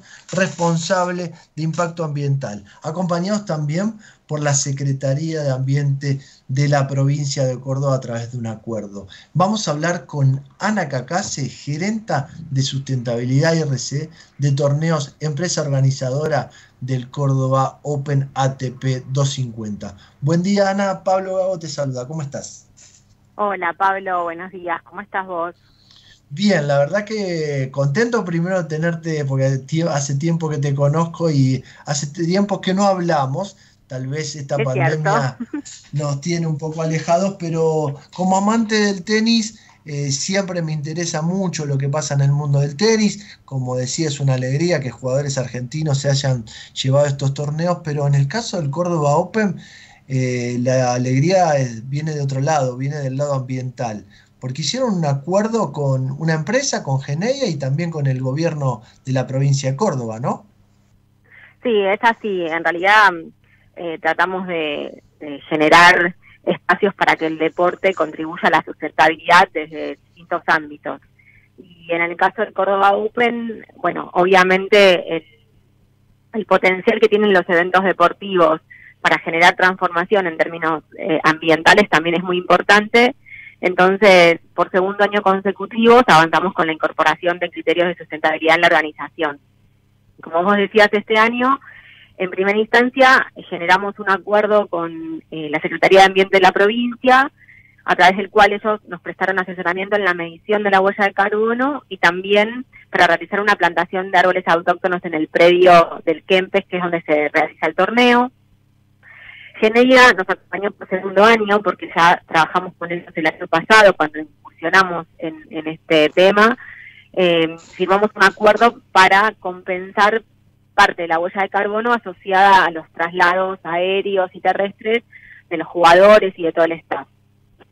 Y en tercer lugar, también tuvimos otro acuerdo con una empresa cordosa que se llama Elipson, que también es por segundo año, y ellos nos ayudaron con todo lo que es la gestión de residuos y en este caso, este año, los plásticos recuperados se donan a la Fundación Mundo Müller, que es del padre Oberlin, que tiene un proyecto muy interesante de, inclusión eh, con, para chicos y para jóvenes en condiciones de vulnerabilidad. Entonces, ellos tienen una máquina que transforma estos plásticos en madera plástica. Con ese material ellos fabrican muebles y bancos y mesas que luego son vendidos para financiar parte de las actividades de la fundación, pero también fue una pequeña incursión para nosotros en lo que es la economía circular, así que muy, muy contentos que, en este año tan particular eh, pudimos avanzar con nuevas iniciativas y nuevos desafíos. La verdad que nos pone muy contentos, Ana, pero también es mm, queríamos darle visibilidad porque no todo el mundo creo que piensa que un evento deportivo de la magnitud de un torneo de tenis puede incorporar tantos criterios de sustentabilidad. ¿No te pasa a vos que al momento de, plantearlo, de comunicarlo o de realizarlo, hay mucha gente que no entendía que se podía darle magnitud a la gestión ambiental del torneo eh, mostrando este tipo de acciones? Sí, claro, es un desafío, como, como todo nuevo paso en materia de sustentabilidad, pero por suerte el equipo a cargo de la organización del torneo enseguida vio la importancia y eh, a nivel de contribución al ambiente y también de, de mostrar eh, el impacto positivo que puede tener un, evento deportivo. Así que también muy contenta por el compromiso de todo el equipo que está a cargo de la organización, que se puso al hombro y trabajó codo a codo con, con, junto a mi equipo para poder llevar esto a cabo. También algo interesante es que el día de la fundación, la, la legislatura de Córdoba nos entregó una plaqueta por justamente por las contribuciones del, del torneo al, al, al desarrollo sostenible. Así que también como eh, muy contentos de poder eh, recibir un, este reconocimiento que implica el reconocimiento desde la política pública también, ¿no? Y el acompañamiento que, que sin duda son muy importantes para que estas acciones puedan eh, generar mayor volumen, llegar a otros deportes, llegar a otros eventos y hacer que este, este cambio sea aún mayor y más positivo. Sí, justamente cuando vos hablas de generar cambios y de generar mayor volumen, qué importante también es la articulación público-privado, ¿no? Porque con el apoyo de la Secretaría de Ambiente de la provincia de Córdoba, ustedes pueden partir de una acción donde ya medir la huella, tomar acciones o poder contar con ese personal capacitado para entender de cómo se medía la huella de carbono generada por el movimiento, ya sea de los organizadores, de jugadores, de todo el torneo en sí, ya le da una importancia que les deja muy buena imagen a ustedes, pero también le deja capital instalado al gobierno para poder replicarlo en otros eventos. Me parece que ahí también hay que tallar, ¿no? Sí, seguro. Eh, como, como en todo caso de articulación, eh, es una asociación que genera beneficios para ambas partes. Así que para nosotros, indudablemente, contar con el apoyo de la Secretaría, el asesoramiento técnico fue algo muy importante, pero también sentir que, que nuestra contribución puede servir para que esto luego se aplique en otros eventos, sin duda también es algo que nos alienta para, para poder seguir adelante.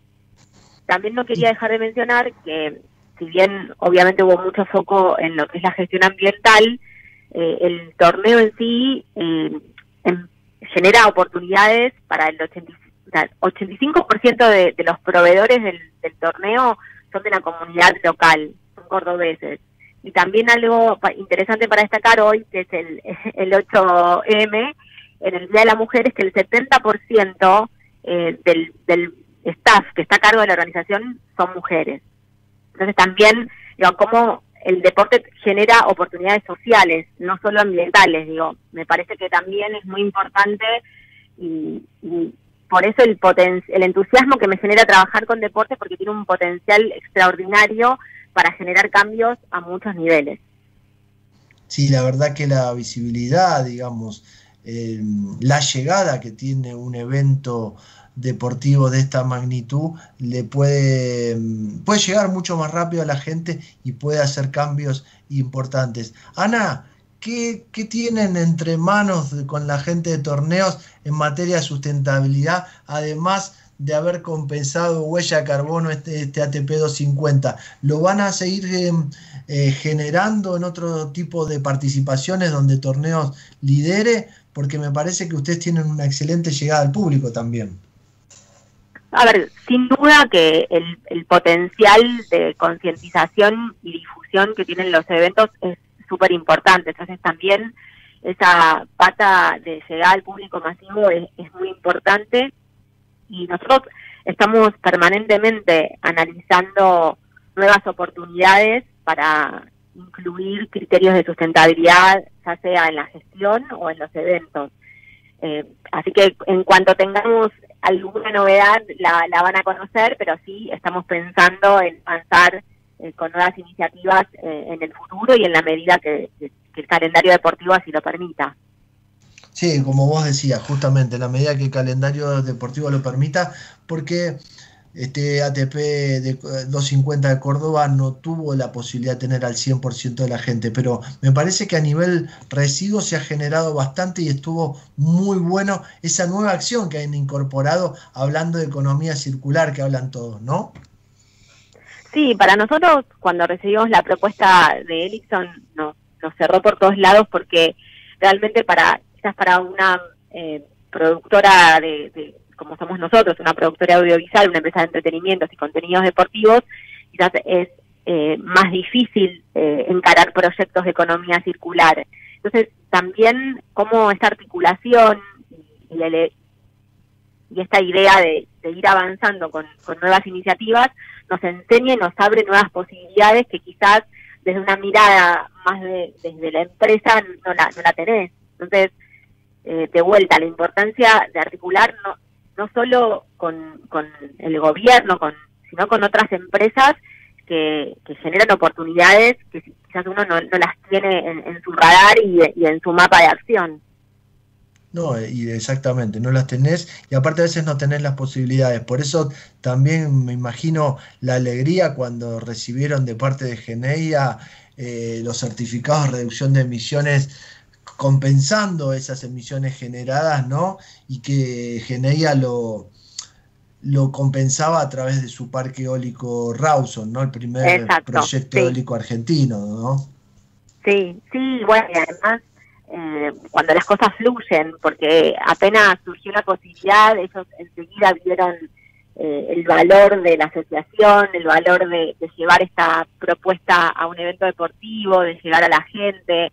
Eh, nosotros si bien hubo no hubo mucho público, bueno, por, todo lo que ya sabemos que está pasando, la voz del estadio eh, permanentemente contaba las cosas que se estaban llevando a cabo, contaba el, tema de, la reducción de, de la compensación de emisiones, de la medición de la huella, de la separación de residuos. Entonces, también eh, uno, a pesar de no tener eh, la masividad tradicional, eh, no dejamos de, incluir oportunidades de difusión también a través de esas redes, del torneo. tratamos de generar todo el, ecosistema completo para que, a pesar de no estar el público ahí, los aficionados y los fanáticos del tenis que siguen las redes puedan estar al tanto de estos eh, de estas acciones que estábamos llevando durante el torneo.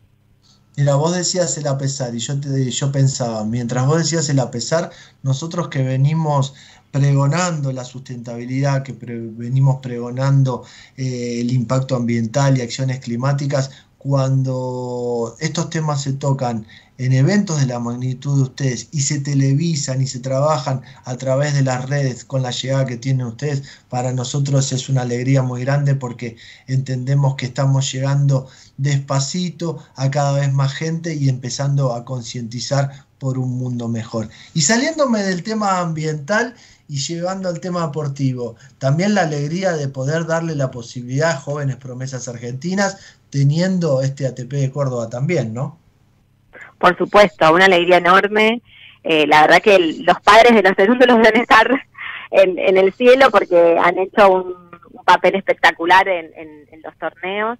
Bueno, también no eh, el, mensaje que deja, ¿no? El, el deporte en sí mismo, la constancia, la perseverancia, eh, lo importante que, es para la formación de, los jóvenes, de los niños, niñas y jóvenes, así que nosotros también apostamos a eso y sin duda eh, es muy auspicioso para el tenis que, dos chicos tan jóvenes ya hayan logrado tremendo resultado en, dos semanas, ¿no? En dos semanas dos alegrías inmensas que la verdad eh, no muchos, digamos, los fanáticos del tenis lo conocemos al Toto Cerúndolo de padre, digamos, de hace muchos años, pero entender que sus dos hijos, si vos le decías hace dos semanas atrás que sus dos hijos iban a igualar el récord de los hermanos Esberev, ni loco te decía.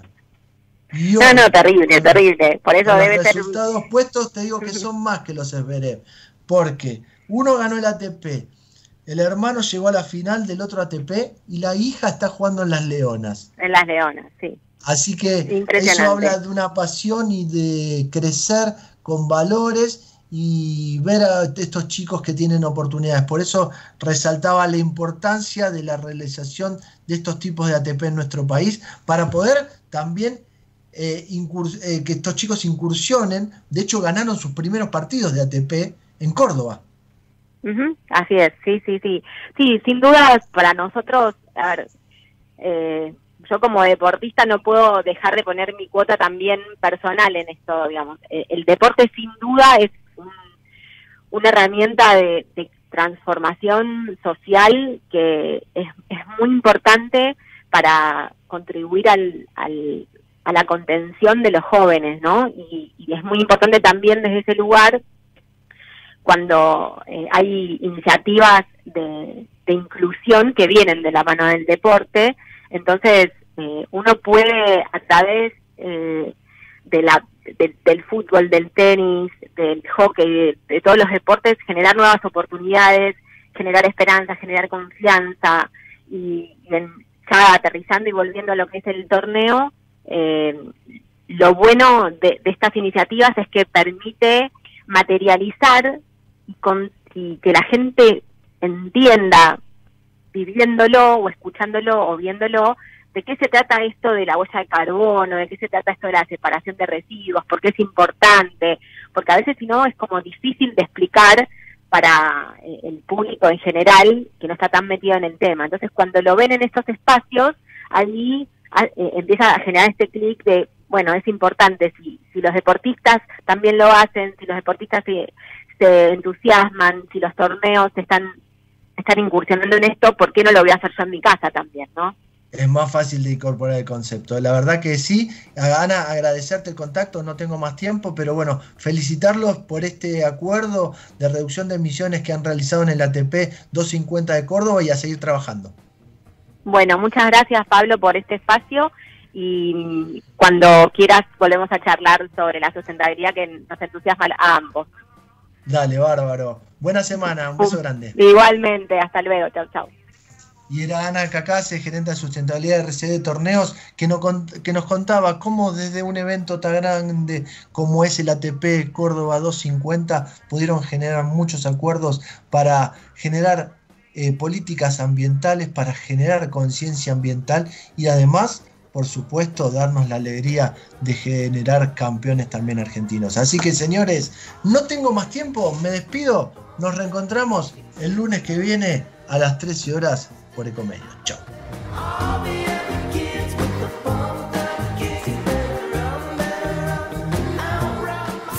Desde Buenos Aires, transmite LRI 224, AM 1220, Ecomedios